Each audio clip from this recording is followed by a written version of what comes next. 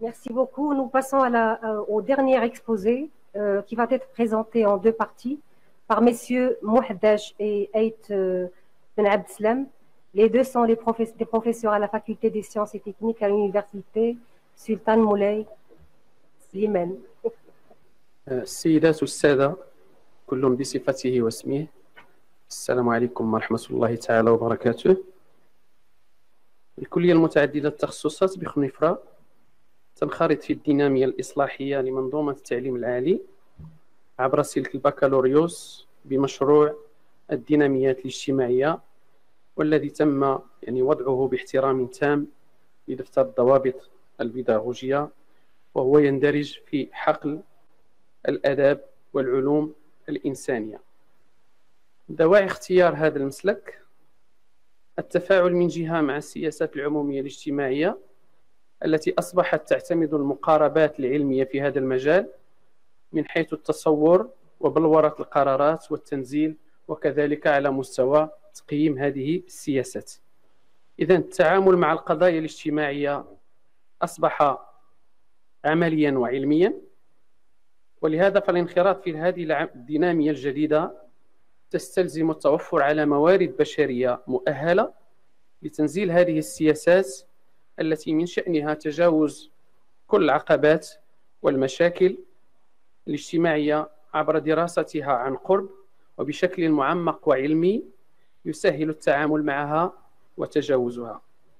من جهة أخرى فهو تثمين لتجربة المسلك العمل الاجتماعي والتنشيط السوسيو ثقافي ومسلك المربي المخصص والمواكبة سوسيو تربوية المعتمدين بالمدرسة العليا للتكنولوجيا بخنيفرة واللتان حققتا إشعاعا على المستوى الوطني وعلى مستوى الإدماج في سوق الشغل بالمغرب. لكن بما أن هذا الولوج لهذا السلكين المسلكين يكون محدودا مخصص فقط لحملة شهادة البكالوريا العلمية ففتح مسلك الديناميات الاجتماعية بالكلية متعددة التخصصات بخنفرة سيكون غير محدود ولشريحة أوسع لحاملي شهادة البكالوريا وفي تخصصات أخرى كالعلوم الإنسانية والآداب والاقتصاد. الجدوى من هذا من هذا المسلك تبرز من خلال المعارف والكفايات الواجب اكتسابها والتي هي بشكل مختصر مرتبطة بالفهم الجيد والعميق لكل النظريات والمقاربات البحث الاجتماعي بالإضافة إلى تعزيز قدرات ومهارات الطلبة اللغوية والتواصلية والمهنية التي سيستثمرها في حياته الفردية والاجتماعية والعلمية. فيما يخص منافذ التكوين فيما يخص منافذ التكوين فهي الرعاية الاجتماعية الفعل في التنمية البشرية إدارة المؤسسات الاجتماعية التنشيط الاجتماعي والوساطة الاجتماعية. أما فيما يخص شروط الولوج فهي السنة الأولى بكالور يعني السنة الأولى هي البكالوريا في العلوم الإنسانية والآداب العصرية والاقتصاد.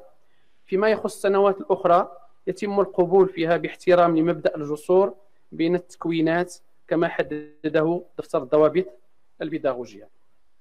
فيما يخص الفريق البيداغوجي الذي اشتغل على هذا هذا المسلك فهو متنوع يشمل أساتذة من كلية التوطين وكذلك أساتذة أو فريق بيداغوجي من يعني جامعة التوطين وكذلك مع متدخلين من خارج المؤسسة والمتدخلين من المحيط الاجتماعي والاقتصادي والذي أصبح ممكنا لتعزيز التكوينات والمهارات العلمية والمهنية للطلبة عبر إقامة شراكات مع عدة مؤسسات.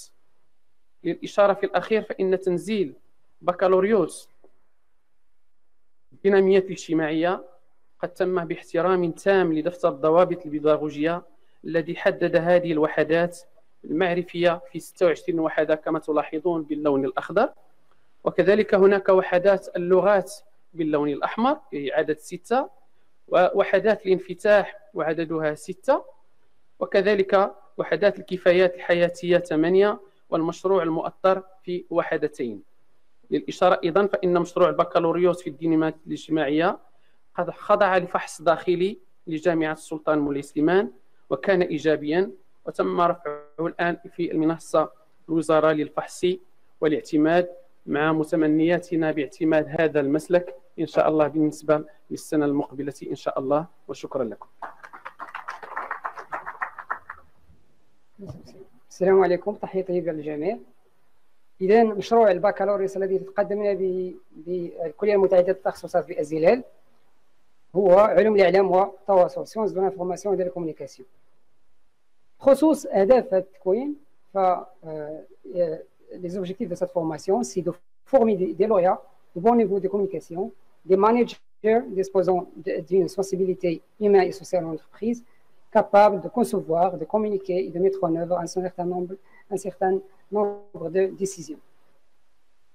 Liées au domaine de l'information et de la communication, adaptées au contexte économique, juridique et culturel des organisations publiques et privées.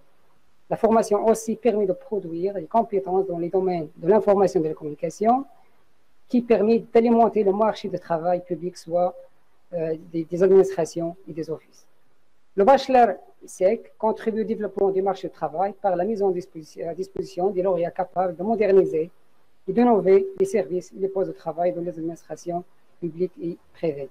Les compétences à acquérir dans cette formation, littérature et sciences sociales, management de la communication en entreprise, mise en place d'une stratégie de communication globale des administrations et entreprises bien adaptée au contexte juridique et économique actuel, l'encadrement et réalisation du plan de, de, formation et de communication des organisations publiques et privées.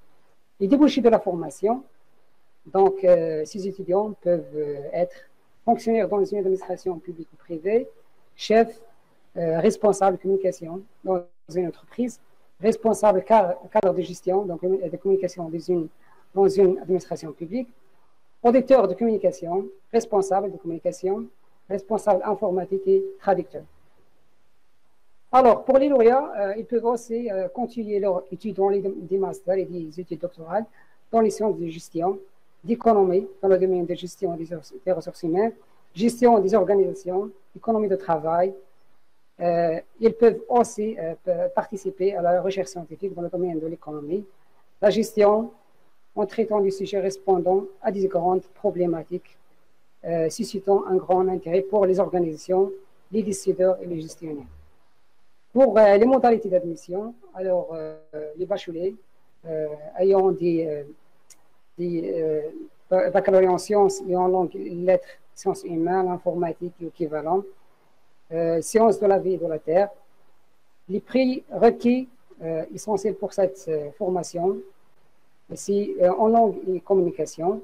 Après l'obtention du TEC en sciences d'information et de communication dans un établissement universitaire. Alors, ces étudiants peuvent aussi postuler pour cette formation.